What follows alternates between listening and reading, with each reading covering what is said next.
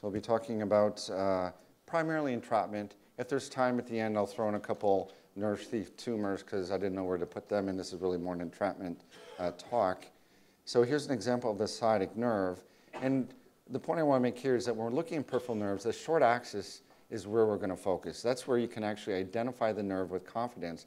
Because in long axis, the sciatic nerve will almost look like a tendon at times. So any of the nerves, we're looking short axis. That's how we see them. We can track them and you can see them as a cable.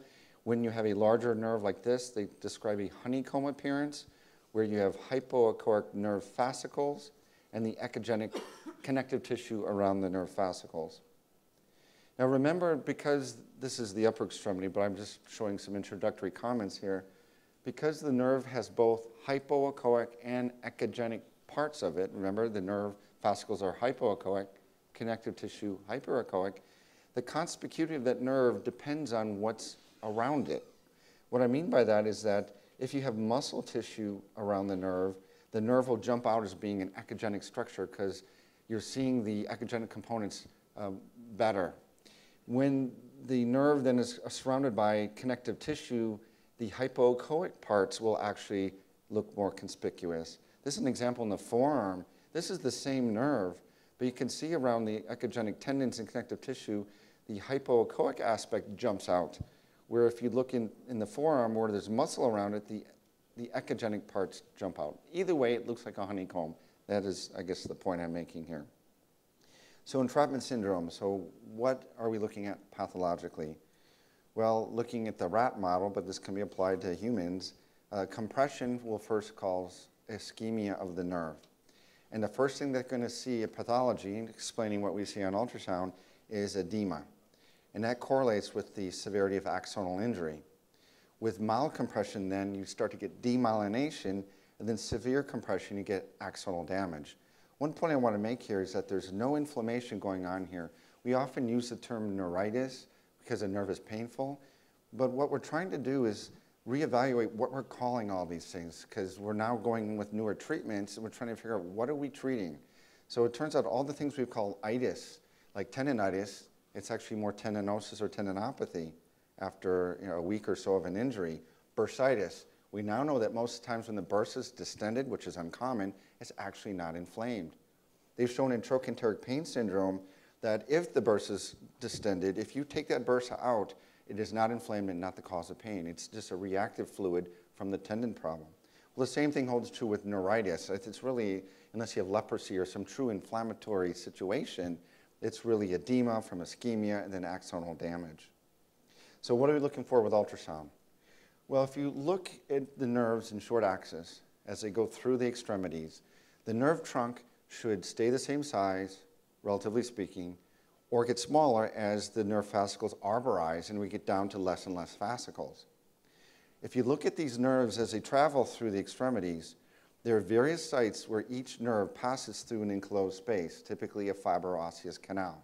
Those are the sites where the nerve can be entrapped. So what we're looking for is edema, again, the first problem we see with entrapment.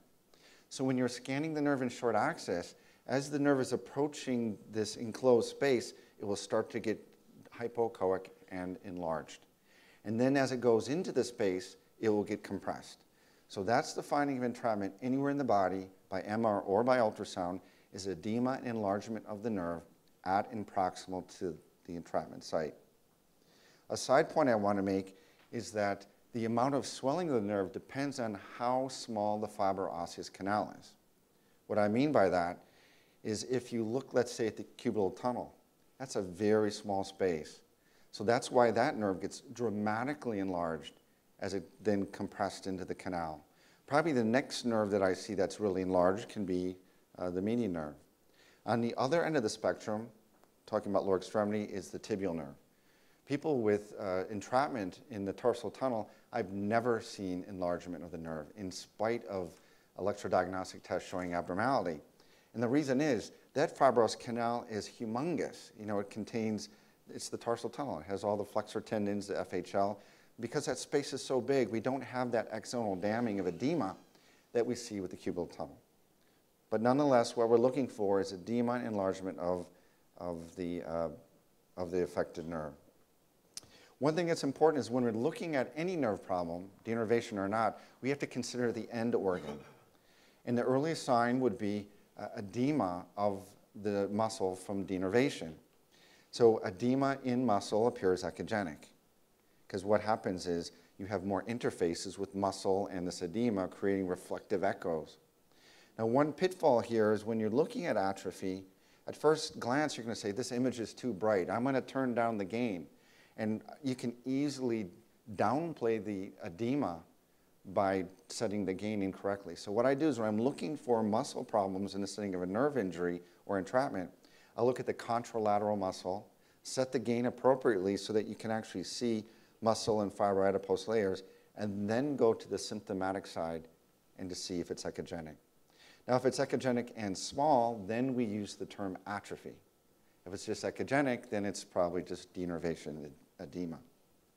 So we're going to talk about three nerves here in the time of this talk here, starting at the knee and going down distally. I can look at some other nerves when during the, uh, the live demo, and of course in the workshops we can do the same.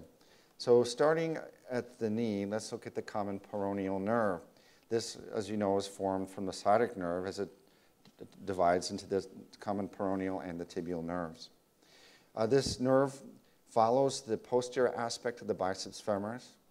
It then wraps around the fibular neck where it's prone to injury. It goes underneath the peroneus longus muscle, and then it divides into superficial and deep branches. It also gives off a lateral uh, sural cutaneous nerve and three articular branches to the knee joints, and that's important in just a moment. I'll talk about that. So here on this Netter diagram, here is the biceps femoris that's been cut showing how the common peroneal nerve parallels and goes posterior to the biceps femoris. Note here when it goes around the fibular neck, how it goes underneath the peroneus longus, a potential entrapment site. So there are a number of issues that occur here. One could be entrapment of the nerve here. One could be uh, laceration related to a fibular fracture or contusion for direct injury, or what's termed intraneural ganglion cyst. So those are the most common things I see the common peroneal nerve about the knee. So here we can see the normal nerve. Now, why I stress the short axis as being most important, look at this in long axis. It looks like a fascial plane. It almost looks like a tendon, but that's the normal nerve. But in short axis, you see more of a honeycomb appearance. Note that's directly posterior to the biceps femoris. Okay, so here's a case of entrapment. This was a patient who was a golfer who started developing foot drop.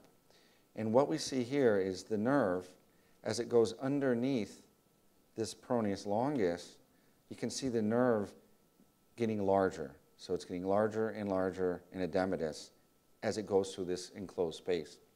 Whenever you see the nerve that's enlarged, another indirect finding is if you push on the nerve with the transducer, it elicits symptoms. That nerve is very irritated. That's another feature to support the fact that this is abnormal other than the edema and enlargement. Here's a case who a patient was developing uh, symptoms, and although the nerve doesn't look abnormal, we see an exostosis here. This is a patient with multiple hereditary exostosis. And why I'm showing this is the benefit of still looking at radiography. Whenever you see some unusual bone contours, I mean, this could be a fracture, it could be benign or malignant tumor. I mean, the list goes on and on. But the radiograph clearly shows what this bone excrescence is. So keep in mind the uh, importance of a radiograph even when performing ultrasound. So when you're looking at the end organ for the common peroneal nerve, we're looking at the anterior compartment of the leg. And here's an example where we see increased echogenicity compared to the asymptomatic side. It doesn't look that abnormal until you compare to the other side. So as I just mentioned, that is very important. So one of the interesting pathologies we see with the common peroneal nerve is the intraneural ganglion cyst.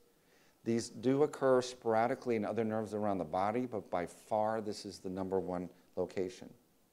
Patients will present with pain and foot drop possibly, and they may have a fluctuating palpable mass in the region of the common peroneal nerve. What is interesting is 18% of those with foot drop are due to this ganglion cyst.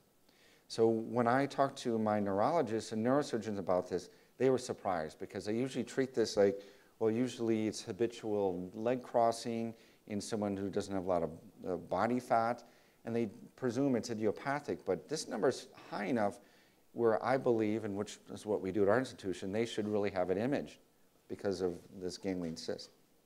So what's interesting is when people have foot drop, they, they fall into two categories. One is the ones with no etiology, and that's the ones, again, who have trauma or just compression from crossing their legs.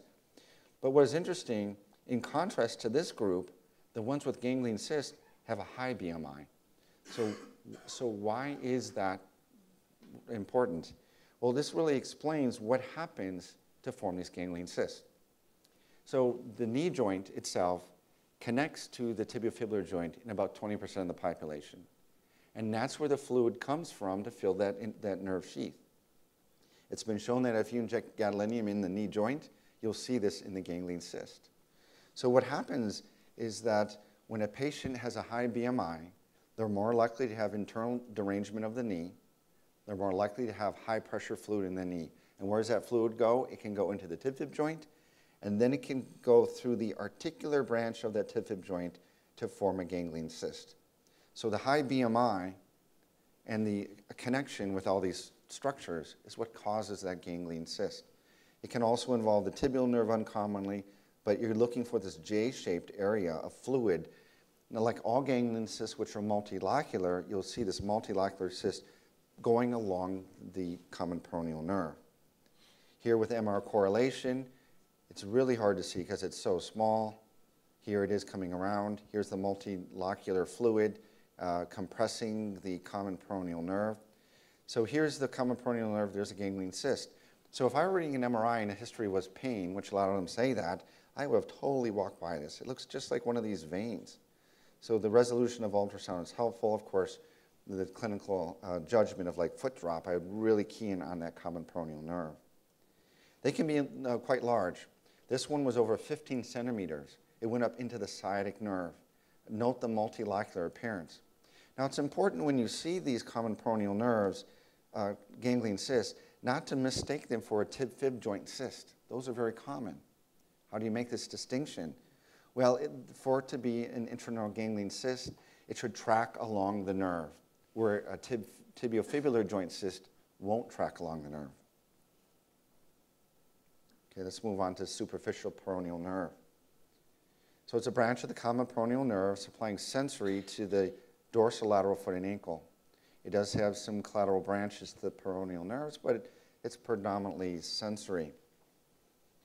Now, the key thing is, again, every nerve has a key place where they tend to have issues with entrapment. We talked about the common peroneal nerve around the fibula. Well, for the, for the superficial peroneal nerve, it occurs where the nerve pierces the crural fascia. It's about nine centimeters proximal to the fibular tip. So if you look here in this cross-sectional image, what's going to happen is this superficial branch of the, of the peroneal nerve is going to come through this fascial plane and come out right here. And that's what they're showing. And this can be the entrapment site. And that helps us find it because if you find the peroneal compartment and the anterior compartment, it's going to pop out between those two compartments.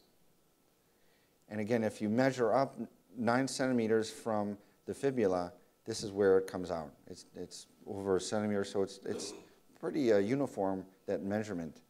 Of course, if you have someone wearing a ski boot, you can have a direct trauma, but where this nerve comes through, this is where the entrapment can be seen. So here's a patient who presented with ankle pain. I performed an ankle ultrasound, which I looked normal, and then I asked the patient, could they point where it hurts or explain the symptoms more?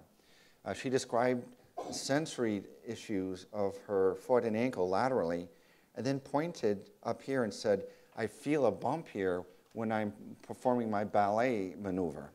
So basically, I had her do the maneuver and see what happened dynamically. And what we saw here was a muscle hernia that happened to occur right where the superficial peroneal nerve comes out, and it was causing a traumatic neuroma um, in that area. So when you have a nerve or an artery or vein that pierces the fascia, that can be a weakening that can predispose to muscle hernia. So she had a muscle hernia which caused the subsequent compression of the nerve and a neuroma. So the dynamic imaging showed the muscle hernia, the resolution, and the, the direct correlation with the clinical findings showed the problem with the nerve. Now, as we move on to finish with the tibial nerve, I just want to mention the sural nerve. Uh, I only have one example of something abnormal, but this nerve is easy to see uh, because if you look halfway between the peroneal tendons and the Achilles tendon at the ankle, it's right in between the two, in the middle of this fat pad, right next to the lesser saphenous vein. So it's very easy to find it at that level, and you can track up or down. And the only abnormality I have here, which is not an entrapment, but I just wanted to show some other nerve things, this person had a had transection of this.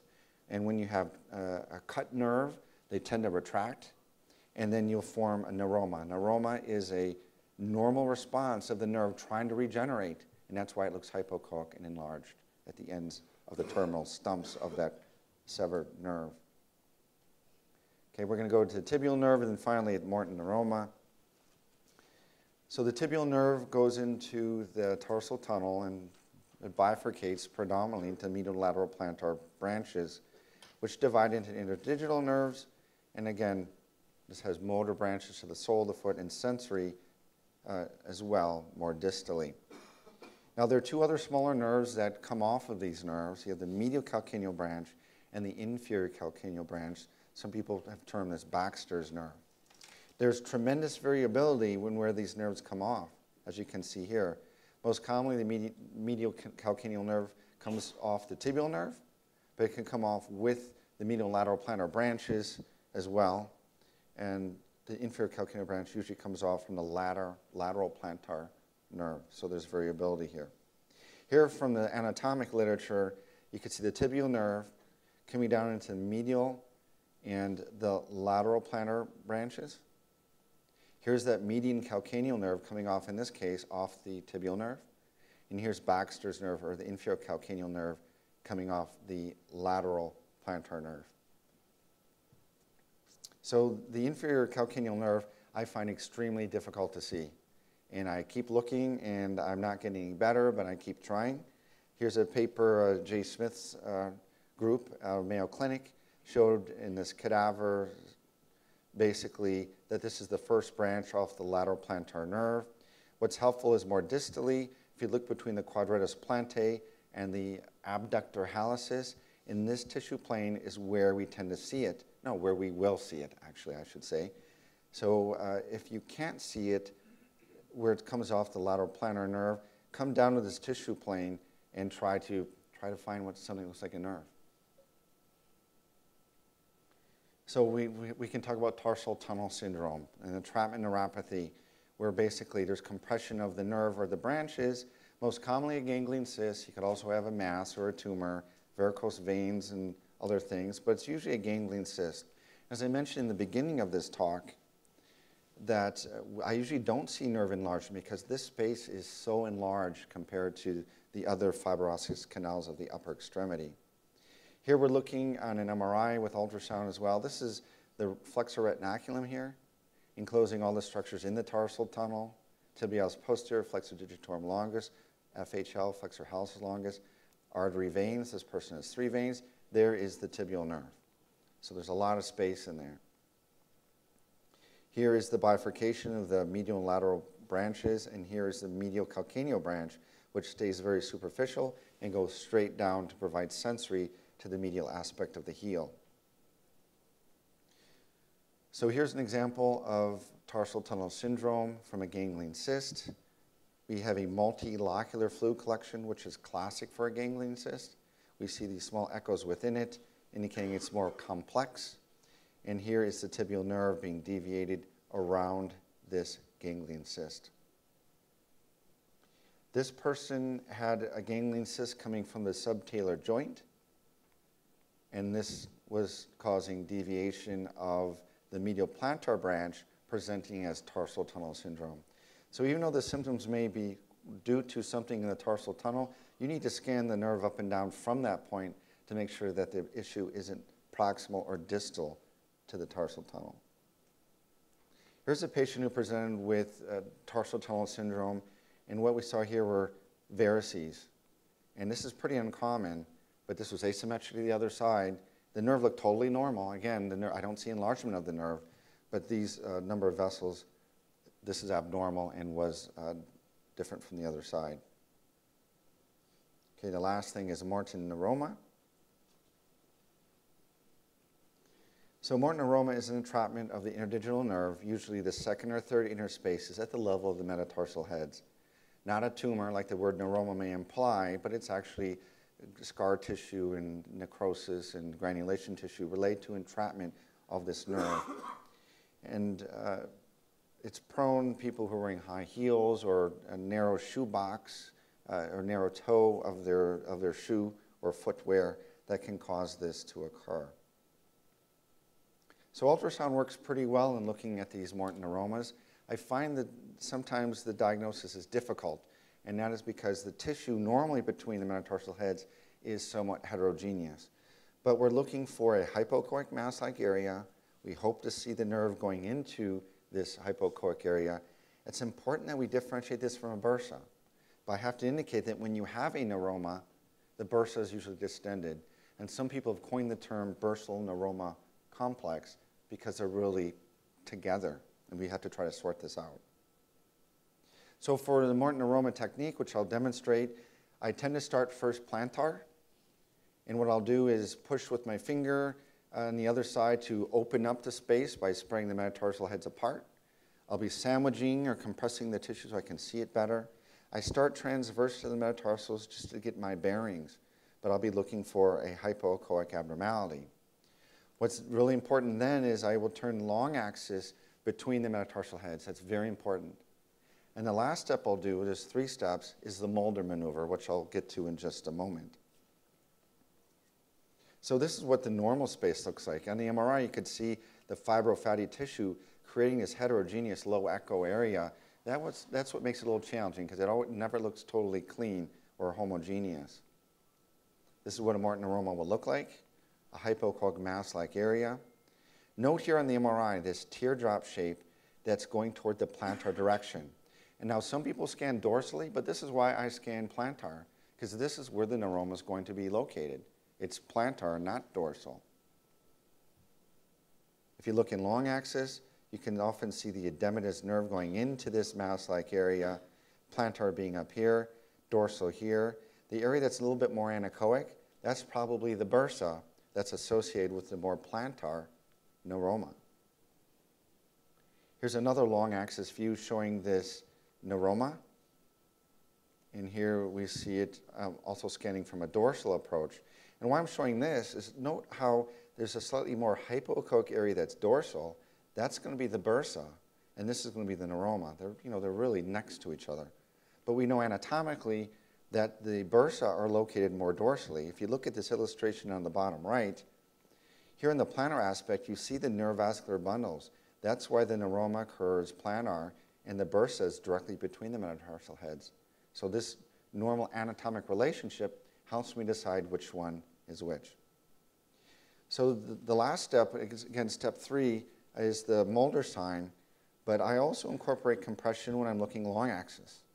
So again, here is the neuromal bursal complex, but when I'm compressing, the more dorsal anechoic area compresses. That's the bursa. The more hypoechoic, non-compressible area is the neuroma. So that helps me differentiate the two.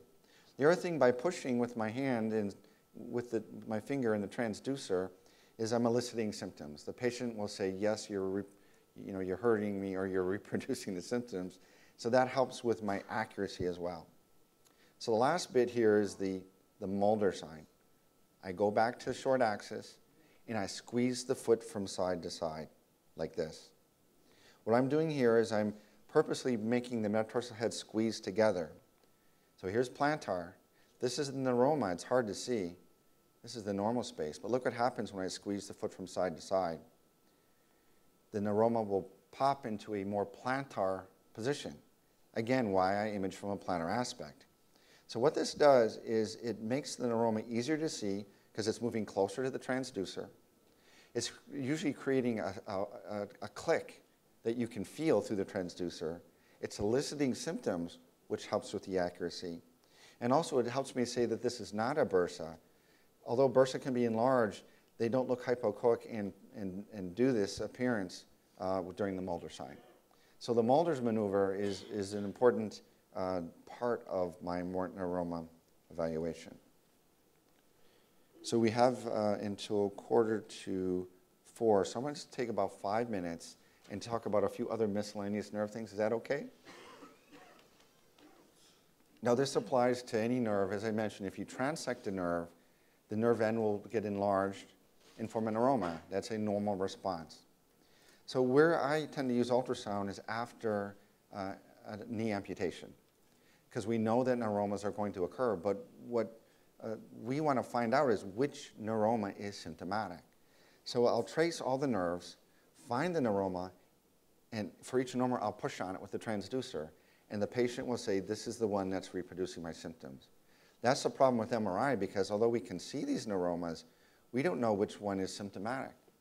So that's why the real-time assessment is very helpful when trying to decide which neuroma is symptomatic. Here's a patient who had a piece of glass cut their common peroneal nerve. If we look in short axis, this is the sciatic nerve here, and that divides into the tibial nerve and the common peroneal nerve. So is it right where the common peroneal nerve comes off, we see this hypoechoic mass-like area, and that's the neuroma. Here I'm looking at a long axis view of the tibial nerve. So as I sweep the transducer laterally, there is the neuroma of the common peroneal nerve. Now, as you can see, there's still nerve continuity, so this was not a complete transection, but a partial transection, creating the fusiform enlargement. And then the last thing, I just want to show you what peripheral nerve sheath tumors look like, because when people present with nerve problems, they're not always from entrapment, and we need to keep this in mind. They fall into two categories, benign and malignant. Benign would include schwannomas and neurofibromas, although we really can't tell the difference between them. In fact, we cannot tell the difference between a benign and malignant nerve sheath tumor. So what I do is I say, I'm just happy I'm saying this is a peripheral nerve sheath tumor, let alone saying benign versus malignant, or what type of benign nerve sheath tumor. So they present as a hypoechoic mass. Now, of course, the history wouldn't be a traumatic incision or, or something like that. It'd be just, you know, it would be some nerve symptoms. The hypoechoic mass in itself is nonspecific until we see the nerve going in and out of the mass. You can see posterior acoustic enhancement with these because the nerve, the tumor is compact, so the sound beam comes out the back of the nerve sheath tumor uh, without any resistance, and, it, and, it's, and it's bright. So here's an example of a schwannoma. So the first point I want to make is that this looks hypoechoic and almost looks like a cyst. Well, first of all, we think we know this is not a ganglion cyst because remember, ganglion cysts are multilocular. If I see a unilocular, quote, cyst-like structure, that is going to be a mucinous tumor or a solid tumor to proven otherwise. This is through transmission, which we see with fluid. This is a solid tumor.